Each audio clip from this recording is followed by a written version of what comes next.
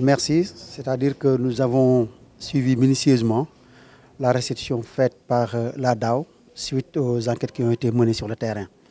Et nous avons constaté aussi que les populations, le nombre était très très élevé et les populations, notamment les familles, doivent au moins aujourd'hui changer de comportement par rapport à leur situation, à la situation des personnes handicapées vivant dans ces familles.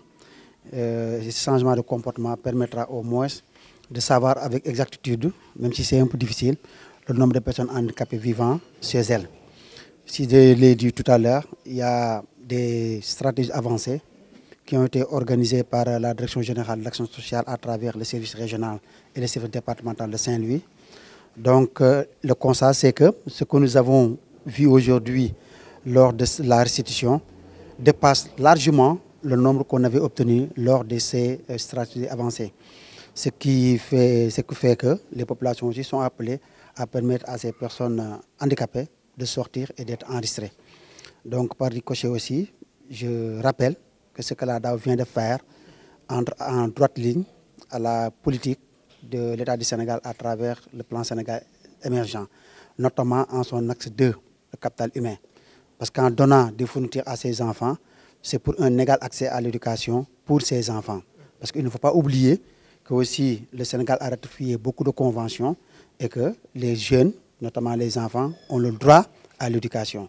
Ce qui euh, fait que l'ADA aussi euh, répond carrément aux normes en donnant ses fournitures à ses enfants qui se trouvent être dans des difficultés assez euh, à régler. Quoi. Pour vous remercier remercier aussi toutes les autorités et tous ceux qui sont là aujourd'hui, qui depuis des mois travaillent avec la commune de Gandon, à savoir l'action sociale, la DAO, le CONGAD aussi, qui ont fait des enquêtes, qui avant de faire des enquêtes, en fait, justement, ont établi des bureaux, des comités, dans toutes les zones, dans huit zones de la commune de Gandon, pour essayer d'aller vers ces handicapés, essayer de faire des enquêtes et un recensement pour savoir quels sont les problèmes. Un état des lieux qui nous fait voir justement que nous avons un problème au niveau de ces handicapés-là. Que ce soit pour ceux qui ont des problèmes d'oreille, qui n'arrivent pas à entendre, des sourds, les mieux aussi, ceux qui ont des problèmes d'yeux, des ophtalmos. Donc on a des problèmes à ce niveau-là et des problèmes de prise en charge surtout.